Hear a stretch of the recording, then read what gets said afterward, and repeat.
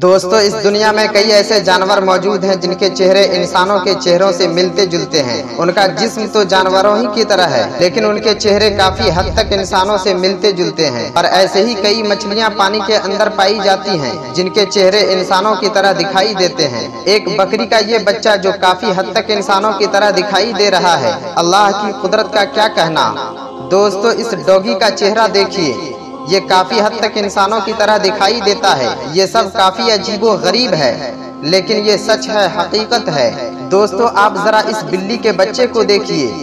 ये अजीब होने के साथ साथ डरावना भी है।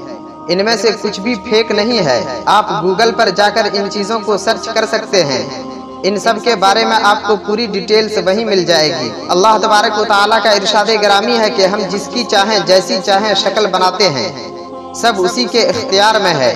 उसकी कुदरत में है। दोस्तों, इंसानों की तरह इन जानवरों में भी एहसास जज्बात हैं। ये भी अपने परिवार का, अपने बच्चों का उसी तरह ध्यान रखते हैं, जैसे इंसान अपने बच्चों का ध्यान रखते हैं।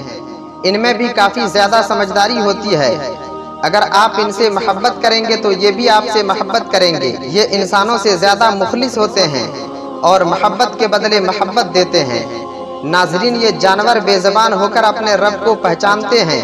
मगर अफसोस, कुछ लोग ऐसे हैं जो अपने रब को भुला बैठे हैं।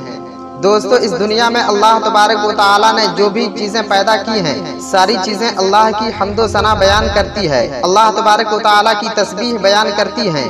लिहाजा हमें भी चाहिए कि हर हाल में अल्लाह की इबादत करें, ताकि हमारी दुनिया और आखिरत दोनों सवर जाए।